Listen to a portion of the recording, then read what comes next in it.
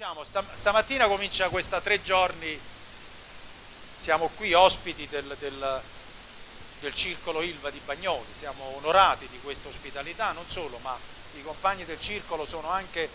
nei fatti copromotori insieme a noi, coorganizzatori,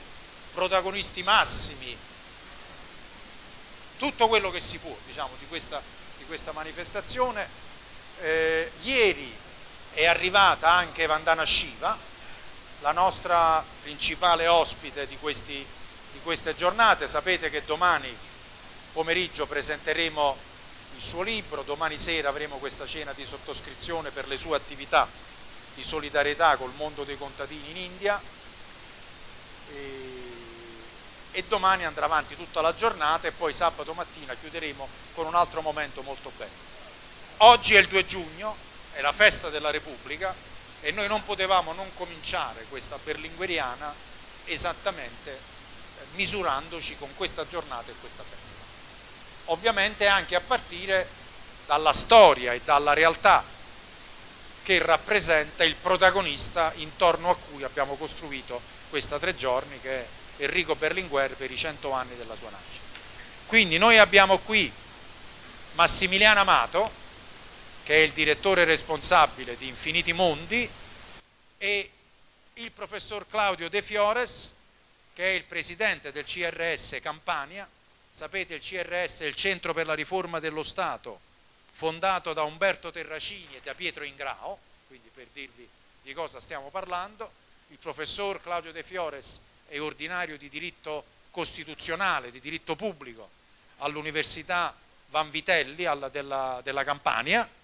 eh, ed è uno dei giuristi più impegnati esattamente sul terreno della elaborazione di un nuovo quadro di riferimento giuridico per non solo difendere la Costituzione, ma ampliare anche lo spettro di tutele, di garanzie e di poteri in questo tempo nuovo così cambiato. Basta, io la mia funzione si è esaurita, do con grande piacere la parola al direttore responsabile di Infiniti Mondi, Massimiliano, clamoroso Massimiliano Amato. Grazie Gianfranco, buongiorno, grazie per la vostra presenza. Intanto consentitemi, eh, lo faccio eh, anche per entrare subito in argomento, consentitemi di, di esprimere la, di trasmettervi la, la, vostra, la mia emozione per parlare in una sala, per il fatto che che questa eh, iniziativa che eh, dà il via alla tre giorni eh, dedicata ad Enrico Berlinguer si tenga in una sala eh, intitolata a Pio La Torre. Eh, la mia emozione è doppia perché è supportata anche da una considerazione diciamo così eh, storico-razionale. la Repubblica nei suoi 76 anni di vita, ha avuto bisogno di eroi per, eh, per, per eh, rinnovarsi e per difendersi dalla, dagli attacchi, eh, eh, dagli attacchi della, della, criminalità organizzata, della, del, del, male, della, eh, delle, delle, forze che eh, hanno tramato contro di esse. Pio La Torre, insieme a Giovanni Falcone, a Paolo Borsellino, ai tanti martiri dell'antimafia, dell è uno di questi eroi, per cui mi sembra anche bello iniziare questa, questa tre giorni in una sala intitolata ad un eroe della, della Repubblica, Pio La Torre. Del quale quest'anno peraltro ricorreva anche il, qualche, qualche, giorno fa, qualche settimana fa, ricorreva anche il quarantennale della barbara uccisione da parte dei sicari di Cosa Nostra. Eh, sì, eh, cominciamo e non poteva essere, altrimenti perdonatemi, io sono ancora un po' frastornato, eh, cominciamo eh, il 2 giugno e non potevamo non cominciare con una riflessione sulla Repubblica. i francesi hanno il 14 luglio, gli americani hanno il 4 luglio, noi abbiamo due date significative in cui eh, celebriamo, eh, celebriamo eh, due altrettante feste nazionali in cui celebriamo la nuova Italia, quella nata nel 1945 dalla, dalla, resistenza e dalla, dalla, guerra di liberazione. Sono il 25 aprile appunto e il 2, il 2 giugno. Il 2 giugno del 1946 eh, parlo ad una platea eh, molto, molto avvertita, molto, è inutile che vi, vi, vi, racconti che cosa successe il 2 giugno 1946, voglio solo sottolineare un dato che mi fa piacere sottolineare, il 2 giugno del 1946 è anche la prima volta che le donne votano, votano da, da, eh, da, da, nord a sud della, della penisola, sono, è uno snodo quello della storia nazionale particolarmente, particolarmente importante e significativo. Eh, dicevo, facevo riferimento al 14 luglio francese, al 4 luglio, eh, al 4 luglio americano, eh, perché eh, eh, se proprio volessimo seguire filologicamente la, la, storia del paese, la storia della nazione, la nostra festa nazionale dovrebbe essere il 17 marzo. Il 17 marzo c'è la proclamazione del Regno d'Italia, ma 1861 ma è, è, è, pacifico ormai, è pacificamente accettato che eh, la, l'atto di nascita della nazione è il 2 giugno del 1946. Anzi, a voler essere precisi, dovrebbe essere l'11 giugno quando la Cassazione eh, eh, valida il risultato, il risultato elettorale. Eh, devo dire che eh, dico questa cosa senza, nessuna, senza, nessuna, senza nessuno spirito di faziosità, proposito del 17 marzo, nel 17 marzo non credevano nemmeno i Savoia, tant'è vero che non fu mai proclamata come, come festa nazionale, il 17 marzo eh, fu, fu eh, tirato fuori solo nel cinquantesimo del, dal, dal 61 eh, come, come, come, festa, quindi non ci credevano nemmeno, nemmeno i, i, i, i, diretti interessati, eh, forse perché eh, l'Italia eh, come nazione, l'Italia come paese nasce effettivamente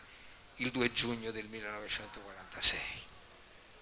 Come sapete fu un percorso molto travagliato, il professore De Fiores che non è solo un, un, un costituzionalista, è, è, anche uno storico, quindi dopo, dopo ci, ci, ci, spiegherà bene eh, i vari passaggi, fu un percorso molto travagliato eh, e, e, e, anche lo stesso esito del referendum eh, non, non, fu pacificamente accettato. Eh, ricorderete tutti, tutti voi avete, avete, letto, avete sentito anche dai racconti di compagni più anziani, quelli che, eh, quelli che almeno quelli che di voi, eh, quelli di voi che, che, che insomma, hanno una certa età eh, di, di, quello che avviene a Napoli per esempio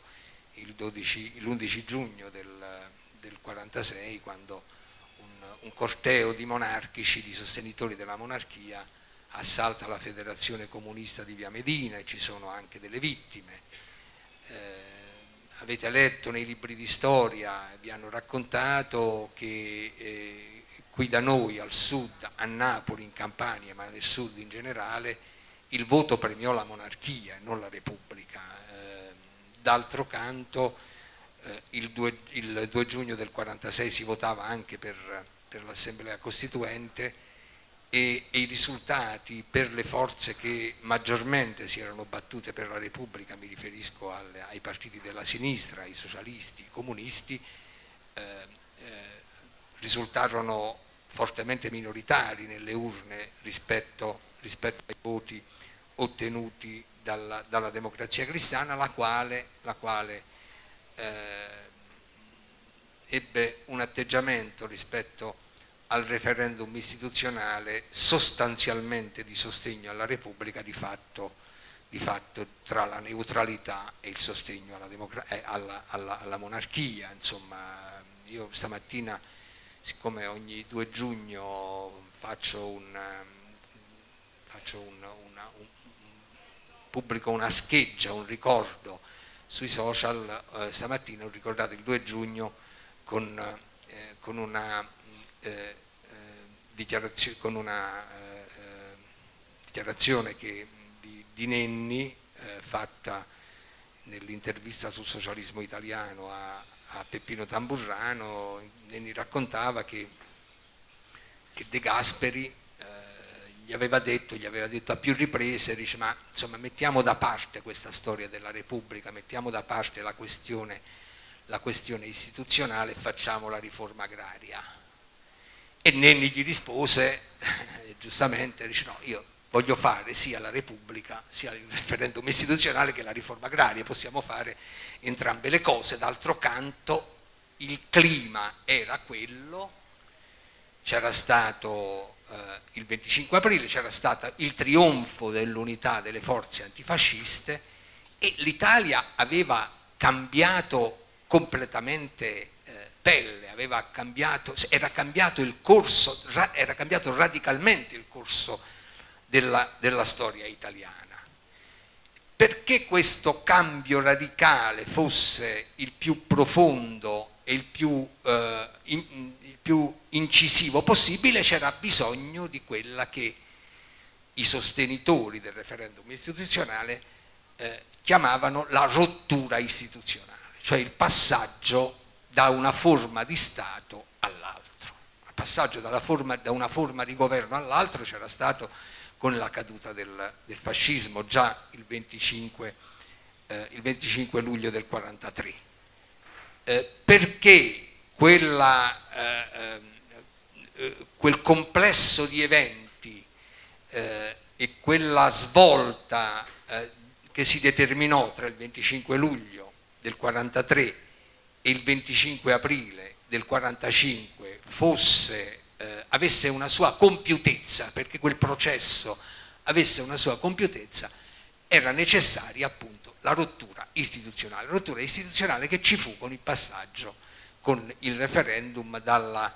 dalla monarchia, tra, tra, monarchia e repubblica, o gli italiani che, che, che furono messi a scegliere eh, eh, tra la monarchia e la repubblica. E, e fu un passaggio, prima ho, ho, ho, ho parlato di quell'evento drammatico, ma in realtà se noi guardiamo alla storia di queste transizioni istituzionali, esse sono avvenute o sulla base di rivoluzioni o sulla base di, di, di grossi eventi, in realtà di grossi eventi di rottura, di rottura traumatica, voglio dire. In realtà, come ha scritto, eh, come avrebbe scritto poi successivamente Piero Calamandrei, mai nella storia è avvenuta né mai avverrà che una repubblica sia stata proclamata per libera scelta di popolo, mentre sul trono c'era ancora il re. Insomma, voglio dire, fu, fu anche, anche, in questo la, la, transizione italiana fu esemplare, fu, fu una, una, transizione esemplare. Io credo di aver già detto tutto, perché stamattina è giusto che eh, di, di, di, del tema che abbiamo scelto per aprire Berlingueriana eh, parlino gli esperti, tra poco ci raggiungerà il professor Guido D'Agostino che è presidente dell'Istituto di, Storia della Resistenza di Napoli intitolato alla memoria di Vera Lombardi, eh, eh però c'è il professore Claudio De Fiores che come sottolineava Gianfranco è il presidente del Centro per la Riforma dello Stato della sezione della Campania e al professore De Fiores io vorrei subito fare una domanda.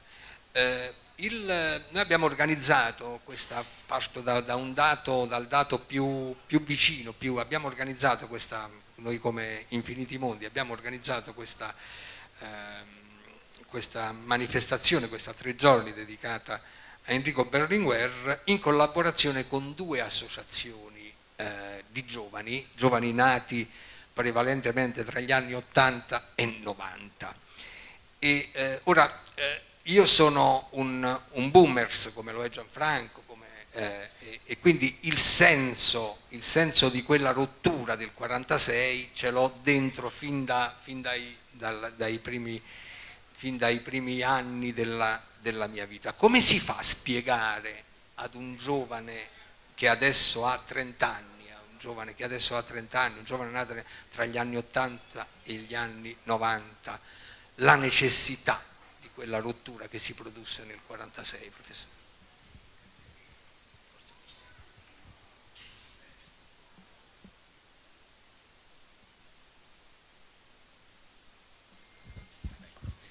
Bene, grazie. Io innanzitutto ringrazio voi, ringrazio Gianfranco Nappi per avermi invitato a prendere parte a queste giornate di riflessione su Berlinguer, tra l'altro in, un, in uno spazio così significativo sul piano storico e politico, ma anche affascinante per eh, la sua collocazione. Ora, le questioni che, che, sono state poste sono tante, sono anche controverse nella loro configurazione, partirei un po' dall'ultima, dalla domanda che mi è stata rivolta, cioè dire eh, i giovani, la Costituzione e dall'altra parte quello che è avvenuto sul piano storico e gli elementi di rottura che si sono via via venuti configurando all'interno dei processi politici di questi decenni. Ora, mm, io devo dire sono un po' meno eh, pessimista rispetto quello, insomma, rispetto anche un po' all'impianto della domanda, perché eh, questo mi capita spesso di verificarlo anche all'università, nelle prime lezioni. Quando io oh, rappresento quello che è l'assetto costituzionale e soprattutto provo a raffigurare la trama dei diritti, quindi la prima parte della Costituzione, c'è un'attenzione, devo dire, straordinaria e eccessiva da parte dei giovani, perché quanto è scritto nella prima parte della Costituzione risponde esattamente a quelli che sono i loro bisogni, cioè dire la tutela dei diritti, il, un salario che sia di per sé idoneo ad assicurare un'esistenza libera e dignitosa, i limiti alla protervia al dominio del capitale e del mercato, devo dire la condizione di precarietà, di insoddisfazione sociale di gran parte dei giovani discende dal fatto che quell'impianto costituzionale, io non dico è stato tradito, è stato eluso nel suo eh, assetto concettuale più profondo. Allora la domanda che eh, immediatamente viene fuori è perché questo non è stato attuato? Allora io cerco di spiegare che la Costituzione non è, come, non è una legge come le altre, perché per attuare la Costituzione è necessario che all'interno della società si metta in moto un processo forte di mobilitazione e quindi mentre per eh, applicare una legge è sufficiente una sentenza del giudice, per applicare la Costituzione, per renderla viva, per renderla operante all'interno del Paese è necessario una, non soltanto la politica, ma una buona politica. Quindi è evidente che nel momento in cui la politica viene meno, si subordina ai diktat del, dell'economico, nel momento in cui il capitale si impone con tutta la sua forza e la sua protervia, non soltanto si comprimono i diritti del lavoro, ma anche quella che è l'ispirazione di fondo della Costituzione è stata compromessa. Non è un caso, lo, lo dico sempre, che questi due processi, cioè dire gli attacchi alle conquiste sociali al, del mondo del lavoro in modo particolare e gli attacchi alla Costituzione sono avvenuti parallelamente, sono due processi che si sono intrecciati e si sono alimentati a vicenda. Quindi la domanda andrebbe ribaltata, quindi la, la facile, il facile elemento retorico e polemico, com'è possibile che nella Repubblica eh, fondata sul lavoro, incardinata sui principi che rispondono, che incardino, veicolano garanzie sociali così forti, poi la condizione di disagio sociale dei giovani e le condizioni di lavoro sono in questi anni peggiorate. Come è possibile? È possibile perché la Costituzione è stata sotto attacchi in questi anni ma è anche vero che ogni qualvolta la Costituzione, e soprattutto quando, ogni qualvolta si è pensato, si è ipotizzato un percorso globale di revisione costituzionale che mettesse ancora di più in discussione il suo assetto, che limitasse i poteri del Parlamento ulteriormente, già in modo ancora più evidente di quanto è avvenuto in questi anni, i cittadini italiani hanno risposto in, con il voto attraverso un referendum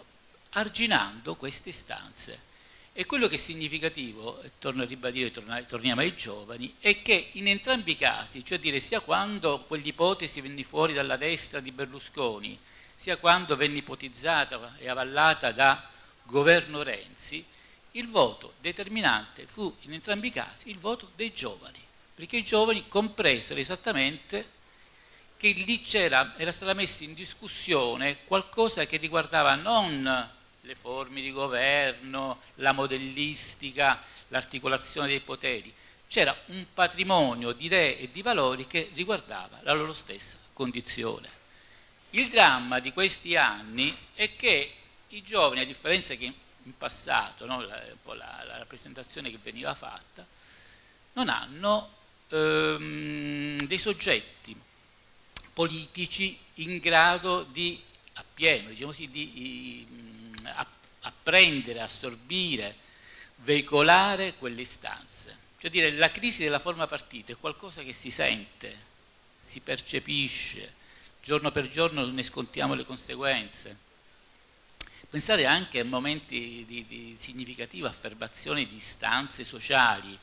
per esempio in una realtà come Napoli, mi ricordo le mobilitazioni per l'acqua pubblica e poi ci ricordiamo no, il, referendum e anche lì lo straordinario successo. Perché nell'arco di meno di un anno quell'impianto concettuale, quelle conquiste,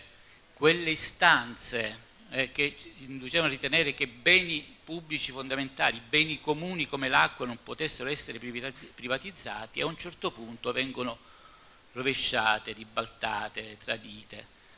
perché nel momento in cui si è tornato a discutere in Parlamento non c'era una formazione politica che sia stata in grado di farsi carico di quelle stanze e di difenderle. Quindi questo significa che i movimenti che possono anche affermarsi in modo significativo dentro la società hanno bisogno di una interlocuzione sul terreno della rappresentanza, altrimenti eh, sono diciamo così, due processi che rischiano di essere fino a se stessi i movimenti non incidono più sull'agenda politica, come si suol dire, e dall'altra parte la rappresentanza, il Parlamento, quelli che chiamiamo ancora partiti, si riducono sempre di più a ceto politico, cioè dire a un ceto che non ha rapporti forti di interazione con la società. E questo è il dramma che noi oggi stiamo vivendo. E allora è importante ripartire anche in questo dalla Costituzione è importante ripartire da quelli che sono i principi, da quella che è stata la sua storia, perché la storia della Costituzione è sicuramente quella che è stata rappresentata in modo così efficace e preciso nell'introduzione.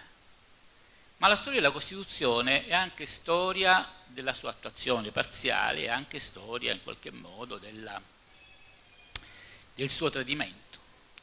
Che cosa voglio dire con questo? Che la, sì, i passaggi sono quelli, quelli che noi abbiamo conosciuto, che sono stati già raffigurati, e cioè dire la rottura costituzionale. Guardate che ci troviamo di fronte a un percorso che andrebbe esaminato in tutta la sua valenza, in tutta la sua rilevanza, perché quando venne convocata l'Assemblea Costituente, i cittadini italiani diedero all'Assemblea Costituente un mandato, una missione storica straordinaria, che era quella di fondare la democrazia, perché in Italia non c'era mai stata la democrazia, perché non era un ordinamento democratico l'ordinamento fascista, che era un ordinamento eh, autoritario e dittatoriale, e non era democrazia nemmeno l'ordinamento liberale, noi oggi ci ostiniamo a parlare qualcuno no, di ordinamenti liberali come se fossero no, l'apice, no, l'apogeo, il punto di contestazione di, di, un percorso di civiltà. Gli ordinamenti liberali erano quegli ordinamenti che grazie a straordinari teorici, filosofi che eh, operavano in quegli anni, teorizzavano l'inferiorità biologica della donna rispetto all'uomo e quindi la donna non era legittimata a votare e ritenevano che fuori dall'ordinamento, fuori dalle mura dello Stato liberale, dovessero restare le masse popolari. Il voto era un voto censitario. Un grande giurista, eh, probabilmente lo studioso più importante di diritto amministrativo, che è Massimo Severo Giannini, definì quella forma di Stato una forma di Stato monoclasse, perché legittimati al voto erano soltanto i borghesi che a loro volta eleggevano borghesi. Fuori dall'ordinamento c'erano i proletari, gli operai e d'altronde con nobili motivazioni. Eh, gli operai già, stanno già 15 ore nelle fabbriche, sono analfabeti, sono già tanti impegnati a, ad assestare i bilanci di una famiglia e che pretendiamo anche che assestino i bilanci di uno Stato, ma ci, eh, vi rendete conto a cosa ci esporremmo? Erano queste le motivazioni. L'idea della partecipazione democratica, l'idea della costituzione di partiti in grado di recepire quelle istanze, è qualcosa di là da venire. È il movimento operaio che si inventa il partito politico e attraverso il partito politico entra dentro le istituzioni eh, ne ribalta l'orizzonte di senso. I parlamenti chiusi, i parlamenti borghesi, diventano un momento di interazione di istanze radicali che si erano venute consolidando in quegli anni nella società. La Costituzione nasce sotto questo auspicio. Ora la Costituzione, sapete, è, è, nasce, torno un po' sul, sul, sul dato storico, non il 2 giugno del 46, perché il 2 giugno del 46 è, è stato il momento conclusivo, l'esito di un processo, quello che i costituzionalisti, i giuristi chiamano il processo costituente, perché eh, si convoca un'assemblea costituente, i cittadini votano, votano per le formazioni politiche di riferimento dopo 20 anni in cui questo non era stato più possibile, votano col sistema proporzionale e votano anche per eh, scegliere tra due forme di Stato, la monarchia e la Repubblica. Però il processo nasce prima e nasce con un evento di straordinario interesse. A me, anche come Presidente del CRS Campania, mi interessa segnalarlo perché è storicamente noto come svolta di Salerno. Tutto nasce a Salerno con l'arrivo di Togliatti, perché è il primo momento in cui Togliatti eh, eh, pone la questione non soltanto della sconfitta militare del fascismo, non soltanto del superamento della guerra, di questa immane tragedia, ma dice l'Italia deve dotarsi di una Costituzione. E chiaramente questo avrebbe creato dei problemi con alcune componenti anche antifasciste, per esempio il mondo monarchico, che vengono superate, perché è evidente, le ragioni sono state dette. Noi avevamo una Costituzione che era lo Statuto Albertino, che era una Costituzione di impianto monarchico voluta un secolo prima, nel 1848, da, da Carlo Alberto, e quella era rimasta retriva, regressiva nel suo, nel suo impianto. Tutto si ribalta quindi a ridosso di questa svolta costituente che tiene insieme tutti i partiti e che per la prima volta si pone un obiettivo concreto che è la convocazione di un'assemblea costituente, di un'assemblea che dia al popolo italiano una Costituzione democratica. Questo non era mai accaduto è vero anche quello che è stato detto della singolarità di questo processo, perché se mai avesse prevalso la monarchia, noi avremmo avuto una contraddizione rispetto a quelli che sono i connotati tipici delle forme di governo e delle forme di Stato monarchiche, perché sarebbe stata una monarchia legittimata dal popolo, invece le monarchie, come sapete, sono legittimate dal titolo dinastico. Quindi una fase del tutto singolare, densa di contraddizioni, densa di insidie, con tante difficoltà, e, mh, difficoltà che insomma, hanno coinvolto in modo particolare il mezzogiorno, eh, perché la questione, la riforma agraria come alternativa alla costituente, per, perché mentre sulla riforma agraria c'era un idem sentire, un'intesa, sulla Costituzione le questioni erano tante, sulla forma di Stato monarchico-repubblicana le questioni erano tante e controverse. E allora si arriva a quel voto e quel voto è un voto, sì, che con un margine significativo ma non straordinario eh, di consensi segna la vittoria della Repubblica. Però nel mezzogiorno questo non avviene. E allora qui viene la grande capacità di mediazione delle forze politiche e dei suoi leader, utilizziamo questa espressione, quando la politica è forte. La capacità di gestire, la capacità di essere in grado di arginare le spinte eh, disgregatrici, regressive. Perché, sapete, il primo Presidente della Repubblica fu Enrico De Nicola. Enrico De Nicola era napoletano, quindi espressione di questa parte, si, ed era monarchico. E chi propose le elezioni di De Nicola fu Togliatti, il componente no, della formazione politica. Sì, sì, sì. Sì ma, ma, c'era la questione del mezzogiorno che non era di Napoli. Che non è, eh, allora, questa è la... Eh. Il primo capo provvisorio dello Stato sarebbe stato comunque un monarchico. Comunque un monarchico. Ma questa questa, questa era la, la, capacità di organizzare e di gestire i processi politici per evitare che eh, si arrivi a punti di disgregazione non più in qualche modo arginabili. Ora, queste sono le cose che un po' stanno dentro quel processo storico. Poi c'è un altro aspetto, magari su questo ritornerò dopo. La Costituzione si dice è stata, questo parlo dopo, della guerra, no, eh, torno sulla questione dell'attuazione perché la questione... Eh sì, ah, ti, ti ripasso la parola. Vabbè. Ecco, vabbè.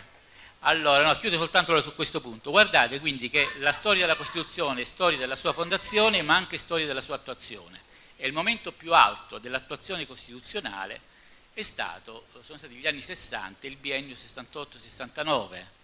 Cioè dire, nel momento in cui sia, la società si attiva, eh, si assiste a uno straordinario processo di rinnovamento democratico nel Paese, i movimenti si impongono in tutti i soggetti vivi della società, dai posti di lavoro, dalle fabbriche alle scuole, alle università e si trova un terreno di interlocuzione con alcune forze politiche, perché alcune di queste istanze inevitabilmente devono essere tradotte in termini di leggi, sotto forma di norme, cioè dire che cosa è accaduto in quegli anni? Che la Costituzione che era stata congelata, la Costituzione parla di referendum, cioè dire la possibilità, tra l'altro noi siamo alla vigilia di una consultazione referendaria, la possibilità per i cittadini di bocciare o approvare direttamente il contenuto di una legge.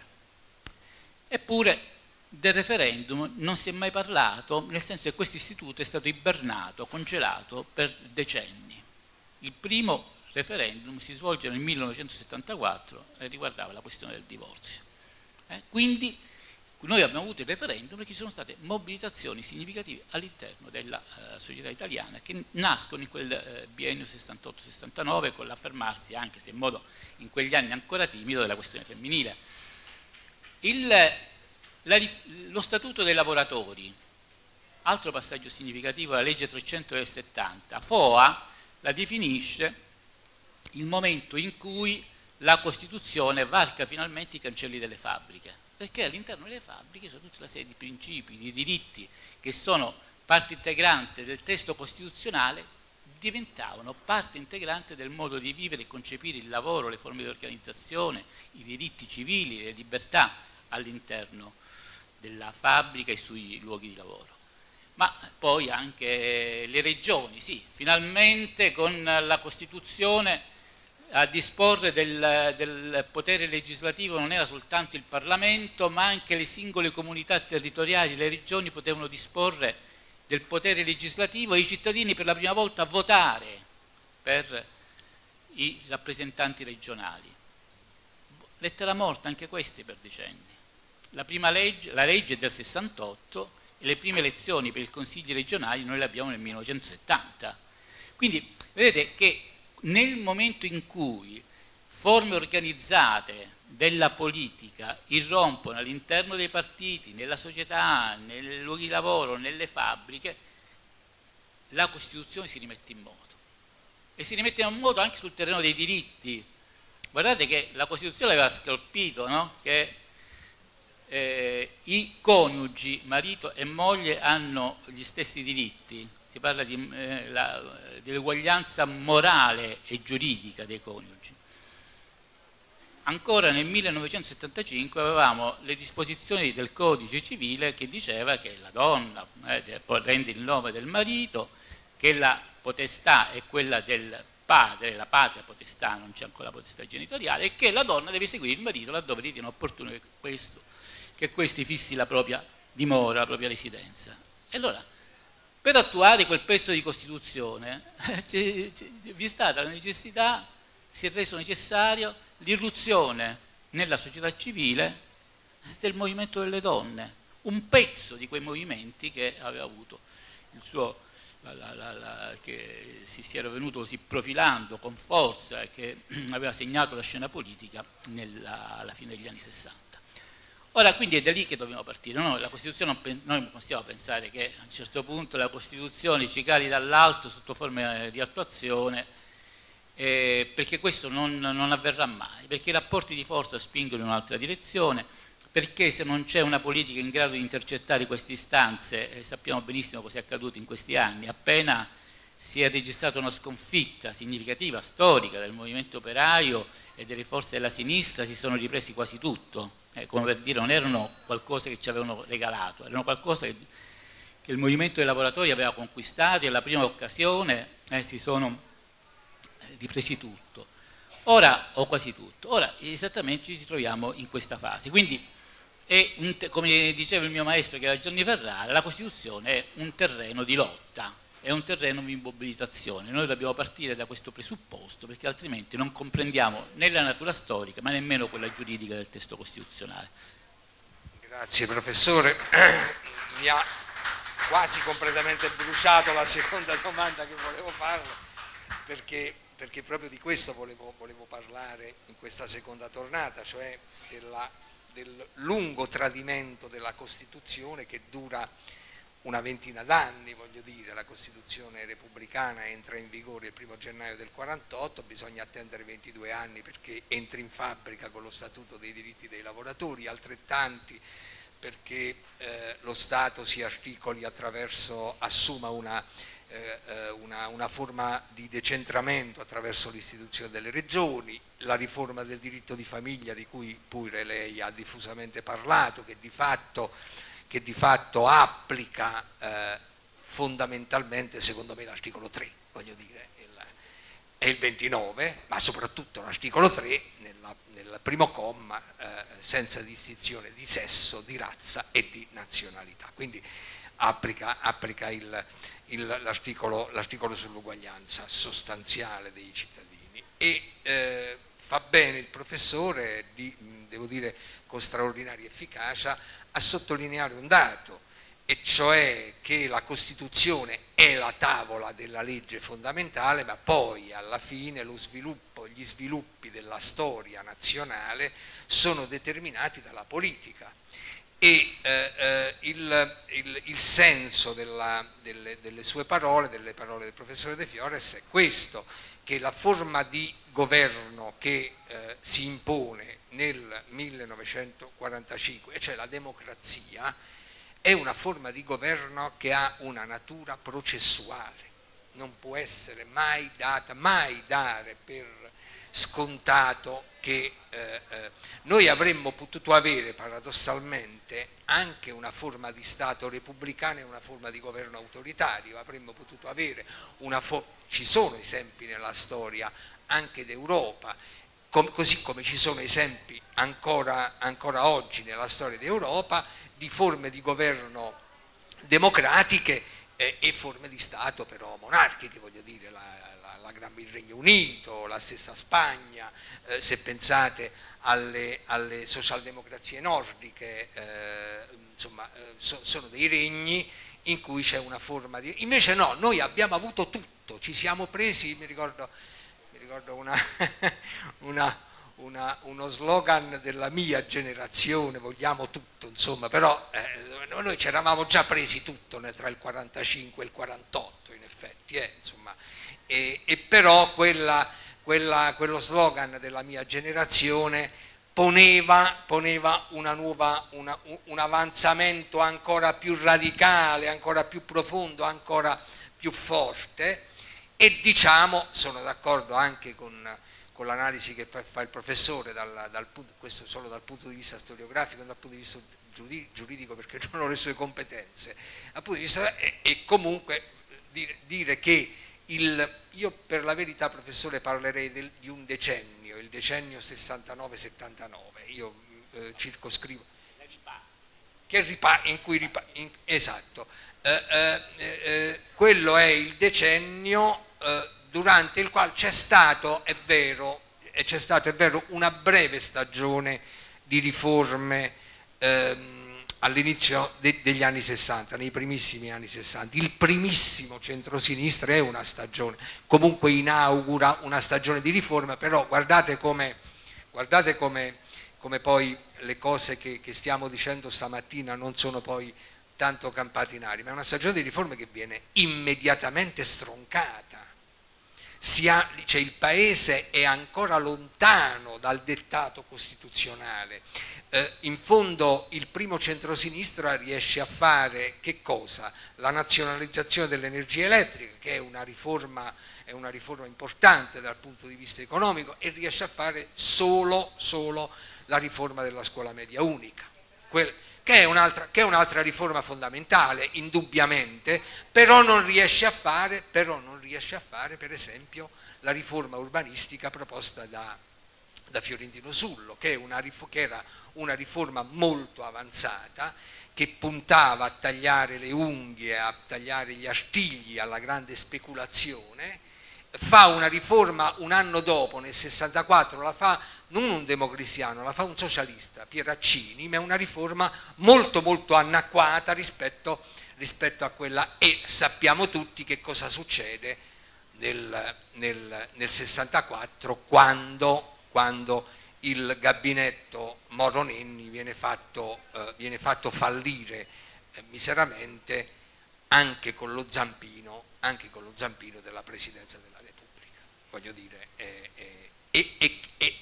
e, e, anche di forze oscure che, di forze oscure che però voglio dire,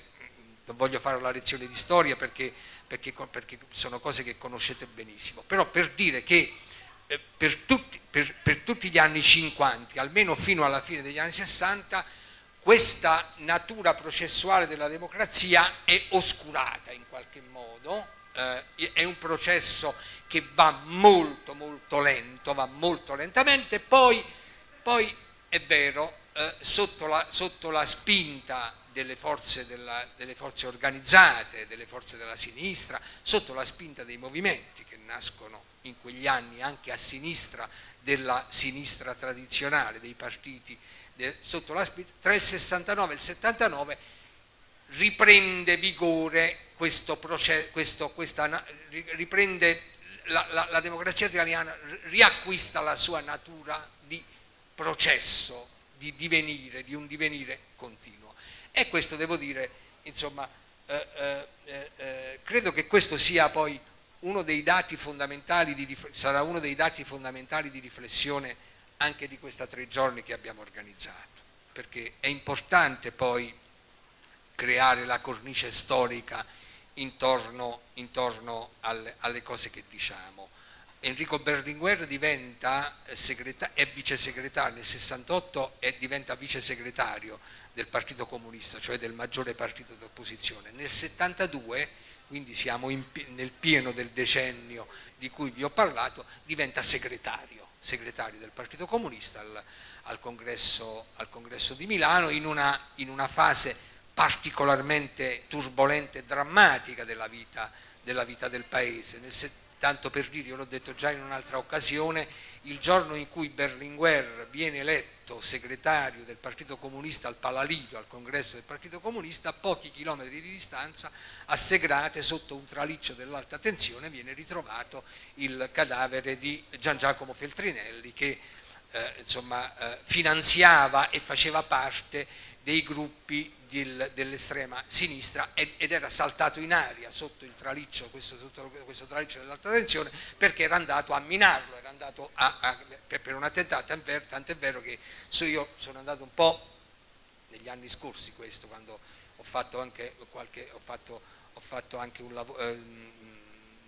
sono stato anche all'università fatto i contratti a termine all'università, eh, sono andato a vedermi un po' la rassegna stampa del, del congresso, de, l'elezione di Berlinguer sulla stampa, sulla grande stampa nazionale, quasi oscurata dal, dal, dal, dal caso, caso, Feltrinelli, invece quella, quella elezione poi dà uno, eh, una, una, spinta importante, una spinta enorme diciamo, al processo di democratizzazione del Paese. E su questo punto lo, la volevo sentire, professore, cioè sulla natura processuale della democrazia che esce forte dall'impianto dall dalla Costituzione, intanto nella, nella, nella, prima parte, quella, la trama dei diritti come la chiama, la chiama lei, ma anche nelle, nelle, nelle altre parti della nostra Carta. Bene, allora eh, anche qui le questioni sono tante, eh, vado per, per, cenni. Allora mm, nell'intervento è stato richiamato il tema della, della monarchia, eh, il rapporto tra monarchie e democrazie, l'esperienza dei paesi del nord e che invece in Italia noi abbiamo voluto tutto, ci siamo preso tutto perché di fronte alla scelta che, che la posta ai cittadini italiani tra monarchia e repubblica i cittadini optano in maggioranza eh, per la eh, repubblica. Ora, questo è vero eh, ed è vero anche che sono forme, ci sono forme di governo consolidate, forme di storia consolidate che sono quelle delle monarchie costituzionali. Il problema non è tanto la monarchia, la repubblica con riferimento al dato costituzionale, ma i tipi storici di monarchie, il rendimento delle monarchie sul terreno storico e nazionale. Ora guardate che insomma, eh, la presa di posizione dei cittadini italiani riguardava non tanto una adesione alla Repubblica intesa come forma di Stato, ma c'era una censura netta nei confronti della monarchia sabauda, questo è il dato. La monarchia che era, aveva eh, non aveva consentito di fatto, non ponendo disposizioni d'argine come eh, tra l'altro sollecitata dal governo Fatta, aveva consentito, comunque favorito l'avvento la, eh, del fascismo, eh, perché questo va, va, richiamato, e nel momento di maggiore disorientamento sociale e politico durante il periodo bellico, la monarchia diciamo così, a un certo punto evapora, non sappiamo bene dove va a finire il re. Eh? C'è quell'espressione bellissima di solito in un film, dice è scappato, eh? Eh? creando grandi imbarazzi in quella cena piena di monarchici. Ecco, ecco. Eh, allora, è questa la monarchia con cui noi abbiamo fatto i conti, ha fatto i conti il nostro paese. Allora, gli altri esempi che sono stati richiamati, anche altri processi costituenti, la Spagna, in Spagna che cosa è accaduto? Che nel momento in cui si è posta la questione eh, la, la, monarchia non viene messa in discussione, ma perché ha una sua legittimazione. Perché quando nel 81, mi sembra, Tejero eh, arriva in Parlamento e, e occupa militarmente l'aula, chi interviene è il re. Io, allora la legittimazione sul piano storico e democratico delle monarchie si misura in base a questi eventi. Eh, è questo. Eh. Allora, um, c'è anche un aspetto, sì, rispetto all'attuazione sono d'accordissimo. Eh, quello che volevo dire è che la, il processo di attuazione della Costituzione si incardina, prende avvio nel biennio 68-69 e poi rimane in campo per almeno dieci anni. Il, probabilmente il momento di chiusura sul piano simbolico, perché gli storici hanno sempre bisogno in qualche modo di eh, separare le fasi storiche individuare momenti di chiusura, eh, vivono di queste cose, probabilmente è la riforma sanitaria, la legge 8, eh, quindi la riforma sanitaria del, del 1978 è l'ultimo momento in cui una certa idea della Costituzione, della democrazia, delle garanzie sociali, che si ispira a quelli che sono i principi che stanno al centro del dettato costituzionale, hanno un risvolto sociale forte, nel senso che sono ancora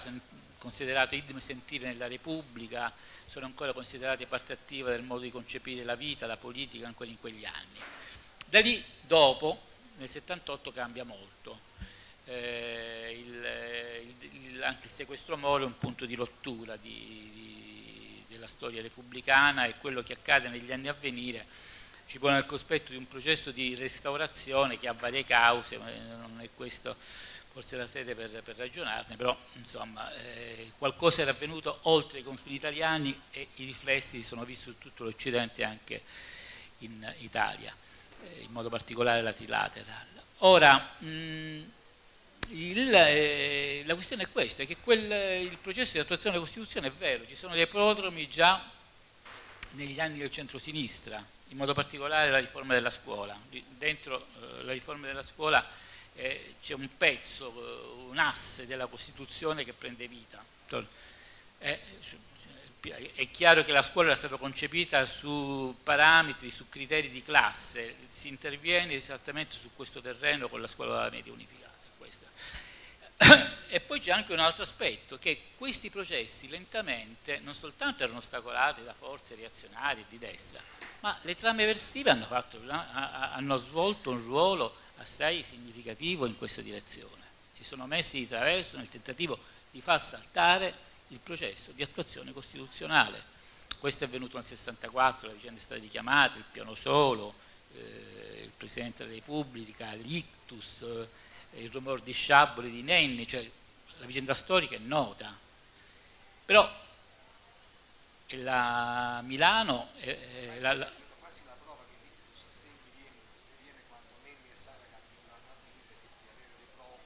certo. magari anche non ce le hanno nemmeno perché vanno a barare sì. di avere le prove del suo coinvolgimento. Il suo coinvolgimento del piano sole e tra l'altro la formazione del governo avviene, voi sapete, quando si assiste alla formazione dei governi si sentono i leader, le formazioni politiche, esiste questo cerimoniale, queste porte della presidenza che si aprono, si chiudono, il corridoio, i giornalisti e sì, quindi si dice vengono consultati i leader di partito e i capigruppo, le, alcune volte anche le organizzazioni sindacali, gli ex presidenti della Repubblica e in quel caso erano anche consultate le forze di polizia e i carabinieri nel 64. Quindi qualcosa sta avvenendo di profondo nella, anche qui no, nella, nella, nella trama democratica del Paese. Ma poi voglio dire, Piazza Fontana è il 69, quindi nel mezzo di quel processo a cui facevo riferimento prima, abbiamo parlato prima del referendum sull'aborto del del, del divorzio, 74, nel momento in cui si discute la riforma del diritto di famiglia, abbiamo un'altra strage a Bologna, quindi questi processi di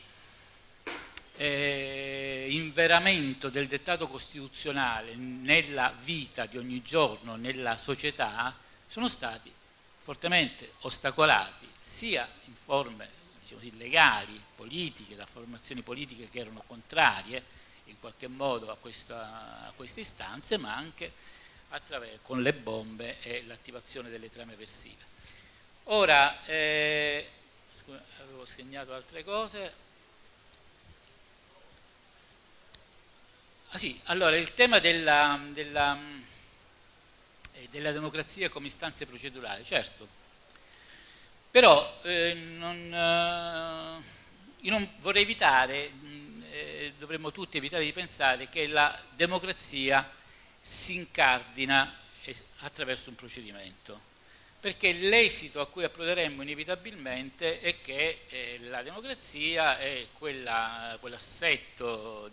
politico che si regge sul principio di maggioranza, per cui si vanno a computare i voti che la maggioranza decide. Ora, la Costituzione e il costituzionalismo nasce invece su uh, istanze che sono avverse a questo principio.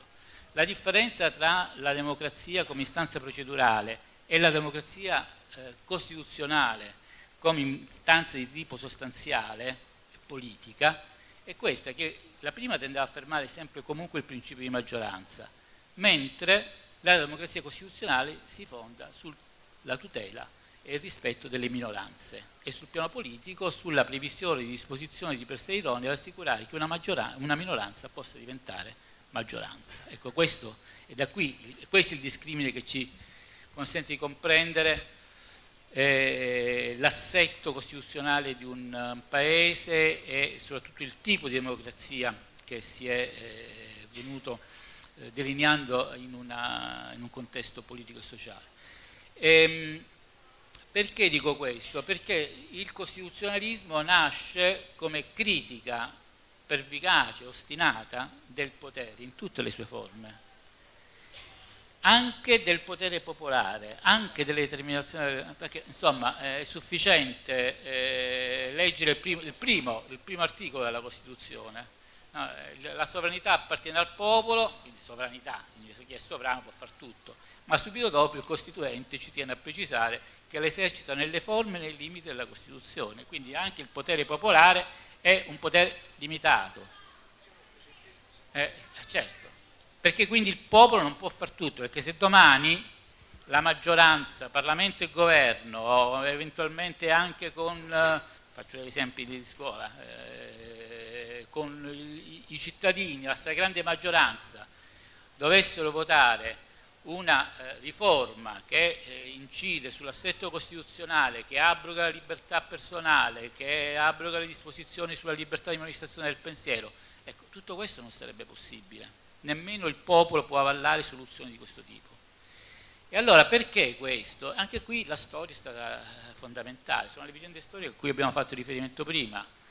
L'instaurazione dei sistemi autoritari in Italia e in Germania, l'instaurazione di questi sistemi avviene nello scrupoloso rispetto delle disposizioni costituzionali. Non si è violato mezzo articolo dello Stato Albertino quando si è conferito l'incarico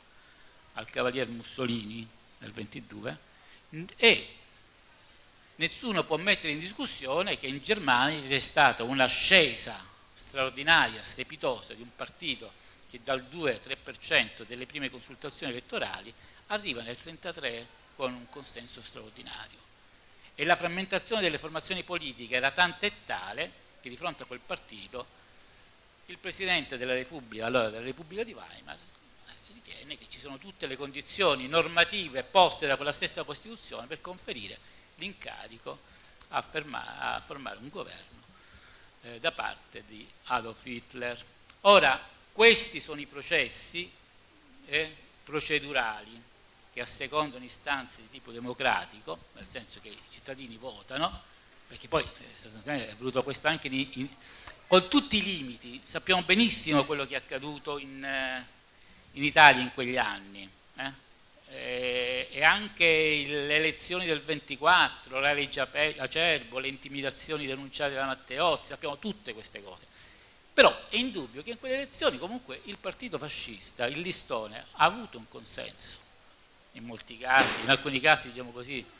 ogni volta c'è la legge Acerbo viene evocata, succede sempre qualche cosa. Allora, allora eh, allora, questo, noi di questo dobbiamo, dobbiamo, rendercene conto. Non voglio tornare sempre a Togliatti, ma Togliatti quando nelle elezioni del fascismo definisce il fascismo un regime reazionario di massa, ha ragione, è di massa, si è fondato sul consenso, quel consenso non gli è stato estolto. Cioè, togliamoci da... Questa è un po' la raffigurazione di matrice liberale, quasi l'idea che tutti i cittadini venivano prelevati, portati in decamion, portati a Palazzo Venezia. Non è così. In quegli anni la società italiana credeva nel progetto, nel progetto fascista perché riteneva che da lì passasse il primato della nazione, che avremmo conquistato il mondo, che avremmo affermato la nostra superiorità etnica sul resto del mondo. Queste erano le concezioni che stavano alla base. Cioè, quindi Togliatti ha ragione, era un regime di massa e allora si tratta di porre degli argini, perché se noi ci affidiamo solo al computo dei voti eh, e non poniamo degli argini, dei paletti, questi paletti li può porre solo la Costituzione, inevitabilmente ci esponiamo a conseguenze di questa natura. Io non posso eh, eh, evitare di farle qualche domanda sull'attualità, perché insomma eh, noi ci troviamo in, uno, in un altro snodo eh, particolarmente delicato della storia d'Europa.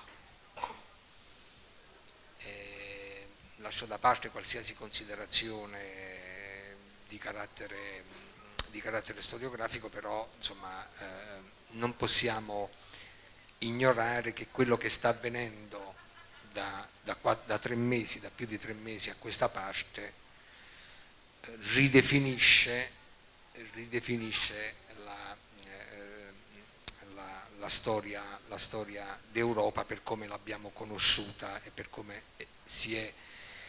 si è, formata negli ultimi 70 anni. Il nostro Paese è, mh, ha assunto una posizione definita, determinata, eh, ultimi, nelle ultime settimane eh, c'è stata qualche correzione di rotta, però voglio dire il nostro Paese è entrato eh, in un certo modo nel conflitto scatenato da Putin con l'invasione, dell'Ucraina. Dico questo così mi metto subito al riparo. da, questa è la premessa essenziale e devo dire questa premessa essenziale comincia anche, consentitemi il termine, l'espressione a rompermi un po' le scatole perché dietro questa premessa essenziale poi insomma vabbè eh, eh, nel paese è eh, in, in, corso un dibattito se cioè la fornitura entro subito nell'argomento la fornitura delle armi all'Ucraina significhi una violazione del, dell'articolo 11 e in ogni caso se la fornitura di armi all'Ucraina significhi, significhi, che l'Italia è in guerra contro, contro la Russia. Lei ha rilasciato un paio di interviste, ne ricordo una particolarmente chiara e significativa al riformista, ehm, all'incirca un mese, un mese e mezzo fa, in cui ha detto delle cose. Io su, questa, su, questa, su, questo, punto, su questo punto di domanda volevo, volevo, volevo ascoltare, volevo sapere, volevo sentirla. Eh, sapevo che si arrivava a questo nodo, che è il tema della guerra, tra l'altro un nodo drammatico, cruciale in, questi, in questo passaggio d'epoca. Ehm, allora anche qui premesse di carattere storico che poi storico non sono perché sono premesse dalle quali non possiamo prescindere nemmeno oggi. Allora si dice generalmente che la Costituzione è figlia eh, di Auschwitz. Mm? Io sarei un po' più preciso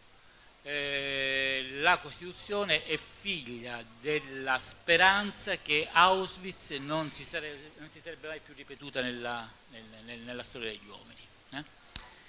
e che quindi la guerra sarebbe stata eh, relegata fuori dalla storia. Ora se noi anziché leggere quello che scrivono e dicono noiosissimi costituzionalisti oggi sulla guerra e la, la violazione del diritto internazionale, ci mettessimo a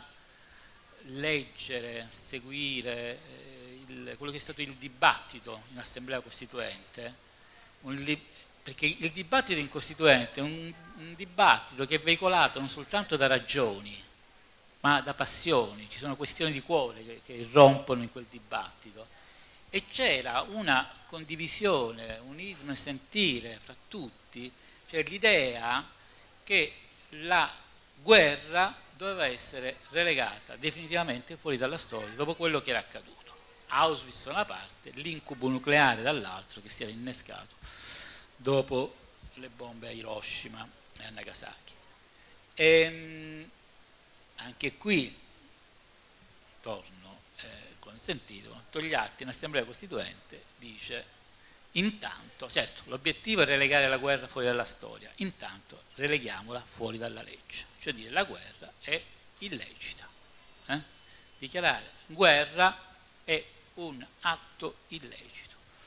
E quindi definiamo le condizioni per escludere questa possibilità all'interno del testo costituzionale. È così che nasce l'articolo 11 della Costituzione, che ha quell'incipit noto l'Italia ripudia la guerra. Quindi questo è il principio. Il principio è quello del ripudio della guerra come istanza di base di tutte quelle disposizioni e sono tante che riguardano effettivamente i rapporti tra pace e guerra, perché non si parla soltanto dell'articolo 11. C'è poi, troviamo tutta una serie di disposizioni che riguardano l'unica guerra ammessa dal nostro ordinamento che è la guerra di difesa. La Corte si è discusso che significa guerra di difesa. La Corte Costituzionale ce l'ha detto in una importante sentenza del 1989. Sono quelle guerre che il nostro ordinamento deve affrontare a salvaguardia del territorio nazionale. Quindi è questo, se noi subiamo un attacco bellico dobbiamo difenderci, quindi non accettiamo la guerra di aggressione, è vero che il nostro Ministero non è più come la denominazione, non è più quella di matrice liberale e fascista del Ministero della Guerra, il nostro Ministero si chiama Ministero della Difesa, appositamente, per questa è la ragione. Quindi fuori dalla guerra di difesa tutte le altre guerre sono illecite, sono illegali. E quindi che cosa significa? Guardate che l'articolo 11 ha una strana sorte perché alcuni tendono il più possibile a eh, manipolarne il significato, dividendolo prima, seconda parte, altri invece tendono a deluderlo completamente, così ha fatto il governo italiano, perché nelle dichiarazioni del Presidente del Consiglio Draghi non c'è un, un solo passo nell'informativa, eh, quando si discute proprio di eh, forniture di armi, eh, non viene mai citato l'articolo 11, non viene mai citato nei decreti di deroga, non viene mai citato, o qualche volta viene citato ma male nel dibattito parlamentare. Quindi questo è già qualcosa che deve indurci a riflettere. Ma poi c'è stato anche qualcuno che ha attaccato ripetutamente l'articolo 11, dicendo che è un condensato di contraddizioni, anche tra i giuristi, dicendo addirittura che è una norma vigliacca, perché quando c'è una crisi internazionale l'articolo 11 dice di voltarsi dall'altra parte. Guardate, questo non, non è assolutamente vero, perché la matrice è un'altra. Ammesso che, preso atto che la nostra Costituzione non ammette, vieta la guerra, tutto quell'assetto di norme, di disposizioni che sta anche dentro l'articolo 11, compreso il riferimento all'adesione a organizzazioni internazionali che operano per la pace e la giustizia fra le nazioni, ci dice un'altra cosa, che noi non possiamo accettare la guerra, ma che siamo obbligati nelle sedi internazionali e anche sul piano nazionale beh, a ricercare soluzioni di pace. E questo è lo spazio. Lei peraltro lei ha fatto un riferimento in quella intervista che richiamava, eh, lei ha fatto un riferimento bellissimo dal punto di vista teorico a Kelsen che ci, ci, che ci invitava, che invitava, a trovare la soluzione del, del negoziato della pace in, in, piena guerra, voglio dire. Insomma, Kelsen è il padre della, del, del, del pensiero costituzionale moderno. Sì, sì, questo lo dicevo anche perché nei periodi più bui, quelli che sono chiamati, insomma, gli utopisti in qualche modo ricercano soluzione, perché se c'è la guerra dobbiamo pensare a come si arriva alla pace, non c'è un'altra soluzione. Questo ha fatto eh, Kelsen nel corso del secondo conflitto mondiale, quando anche le sorti del mondo erano messe in discussione perché già si parlava, di, eh, si parlava anche di soluzione nucleare. E, ehm, ma quello poi hanno fatto anche altri in Italia, pensate, eh, nel momento in cui in, Europa c'era una carneficina tra i popoli europei, eh, un signore con qualcun altro in un'isola non distante a Ventotene immagina un processo di integrazione europea e la costruzione di un'Europa di, di, di, pace sociale. Quindi è quello uno spazio che inevitabilmente va praticato. Se, altri, se i rapporti di forza non ce lo consentono, questo è lo spazio che noi ci dobbiamo ricavare. Eh, dobbiamo prov inevitabilmente provare a percorrere queste soluzioni. Ehm, quindi insomma la, la, la questione è questa, c'è uno spazio che è quello della diplomazia e che però va sfruttato sul serio, va preso sul serio, perché non è stato fatto nulla in questa direzione. Per esempio, la von der Leyen, no? l'Unione Europea, le prese posizioni, ci ricordiamo di qualche giorno fa, bisogna proseguire con eh, l'invio delle armi, con la guerra, fino a quando non assisteremo alla sconfitta della federazione russa. L'obiettivo quindi che si persegue è quella del Bellazio. Ora, più questa guerra va avanti, più le possibilità di approdare a una soluzione di carattere diplomatico si riducono, questo è inevitabile. Era necessario sperimentarle da subito. L'invio, anche il congegno normativo sperimentato in Italia, ma in modo ancora più significativo negli Stati Uniti, per cui c'è una sorta, no, una sorta di, di, di, di, bonifico periodico, per cui sistematicamente vengono inviate le armi senza una strategia politica, ci espone inevitabilmente a conseguenze che noi non siamo al momento in grado di prevedere. Ora, torno sulla questione giuridica. Ora, su questo sta, ci sono sensibilità diverse che si sono anche misurate, eh, che si sono venute in qualche modo eh, appalisando anche tra i costituzionalisti nel dibattito politico, però è una questione rispetto alla quale eh, la mia soluzione in qualche modo l'ho espressa già in quell'intervista. Cioè, l'invio delle armi, al di là del fatto se configurabile o meno come guerra, perché se noi fossimo in guerra dovremmo allora a questo punto attivare le procedure prevista dall'articolo 78 della Costituzione,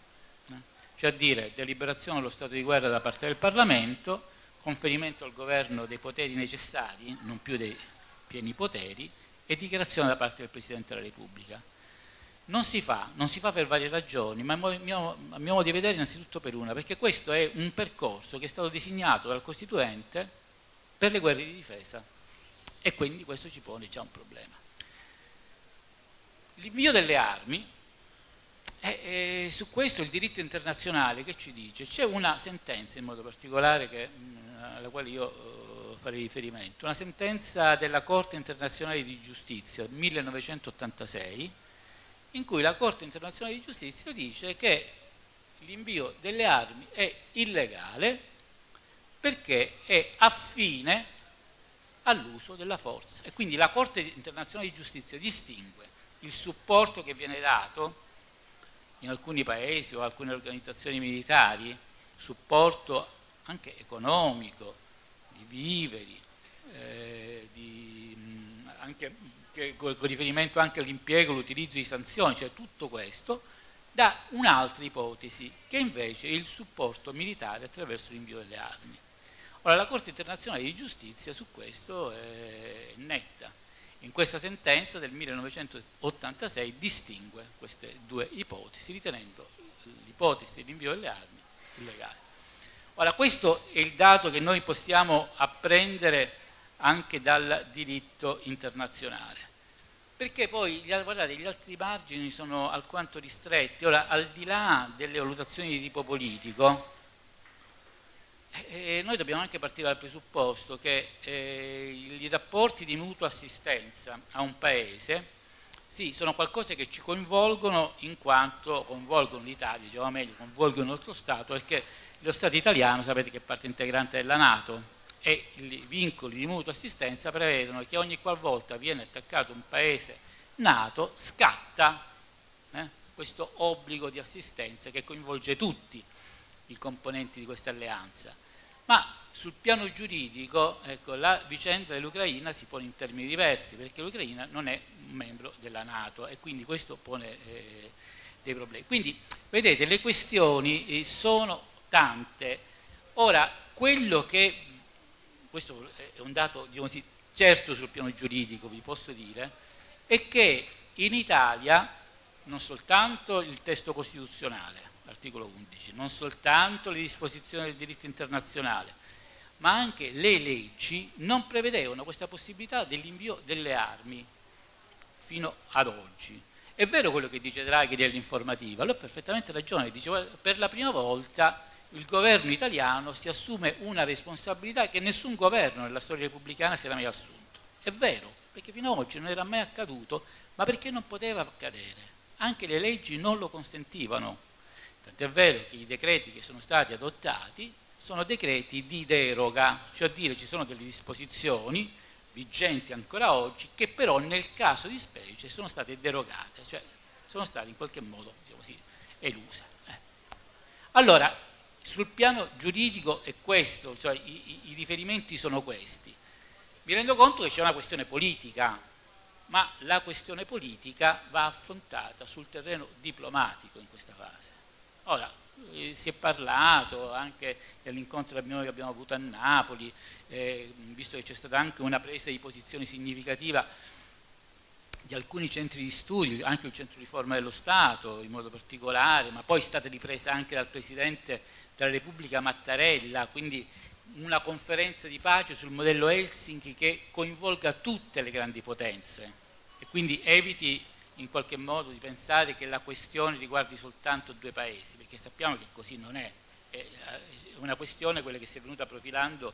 a ridosso dell'invasione dell'Ucraina che coinvolge, riguarda l'Europa, riguarda gli Stati Uniti e non soltanto l'Ucraina e la Russia.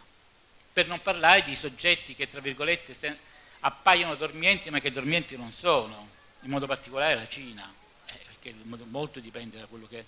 le, quelle che saranno le future prese di posizione della Cina su questo terreno, eh, probabilmente segneranno quello che potrebbe essere l'esito di pace, di guerra, eh,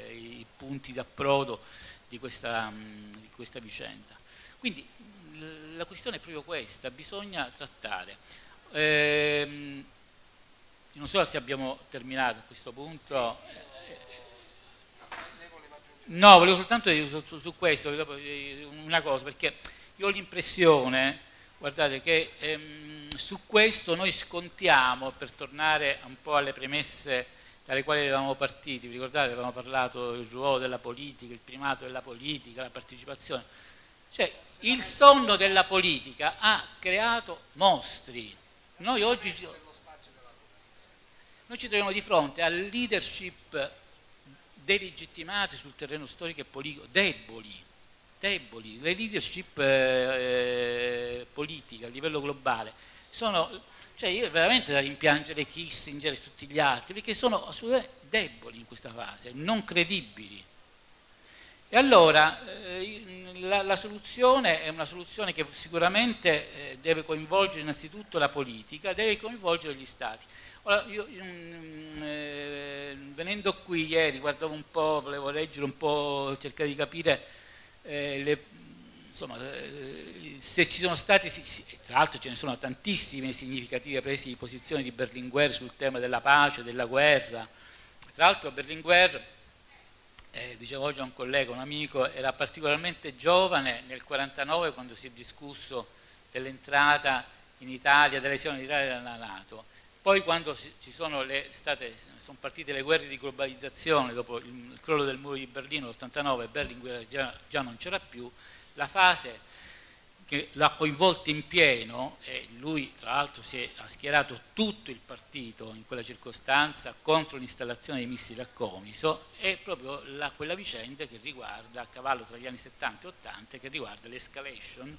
in quella che era chiamata l'equilibrio, no? i rapporti di deterrenza, eh, la costruzione dell'equilibrio del terrore, ma lo fa con posizioni nette. Ora, anche in quella circostanza, ieri leggevo questa presa di posizione di Berlinguer, il discorso alla marcia per la pace Perugia Assisi dell'83, e lui ribadisce questo concetto che io ho trovato di estrema attualità, che ho voluto riportare qui e ve ne do lettura. Lui chiude con queste parole, trattino dunque gli stati. Non cedano alla facile lusinga dell'intransigenza, della sfida, della provocazione, ma al tempo stesso i popoli facciano sentire la loro voce, il loro peso, la loro volontà di vita. E lo trovo di una straordinaria, di straordinaria attualità, perché se noi rinunciamo all'azione diplomatica e rinunciamo alla politica, intese come istanza di mobilitazione sul terreno pacifista, quello che abbiamo di fronte sono soltanto i rapporti di forza e lo scenario è quello della guerra. Vi ringrazio. Grazie al professore Claudio De Fiores, grazie a voi che ci avete ascoltato. Mi sembra, mi sembra giusto chiudere questa, questa, nostra discussione di oggi, questa nostra conversazione su questa bellissima eh, frase di Enrico Berlinguer. Eh, noi eh, chiudiamo qua questo appuntamento, ma come sapete Berlingueriana andrà avanti per tre giorni fino al 4 giugno il programma inutile che ve lo, ve lo, ve lo ribadisca, insomma eh, lo trovate, lo trovate, dappertutto, saranno tre giorni di, di discussioni, di dibattiti, di confronti anche importanti con questo grande appuntamento con la Lezio di Vandana Shiva. Eh, ci vedremo, no la Lezio è domani, no è sabato mattina la Lezio. E domani però lei eh, prenderà parte alla presentazione del suo ultimo libro. Grazie della, della vostra attenzione e ci, vediamo, ci, teniamo, ci vedremo in questi giorni. Grazie.